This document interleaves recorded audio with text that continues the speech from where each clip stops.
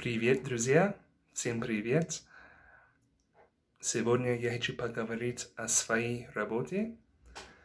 Я учитель английского языка, и я очень, очень люблю эту профессию, потому что через язык мы можем понять друг друга лучше.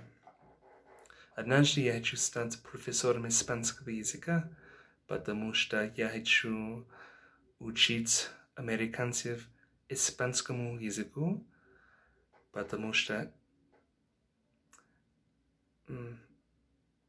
чтобы они могли понять, что изучение другого языка – это здорово. И я думаю, что это важно изучать другой язык и не только английский. Это все. Друзья, пока.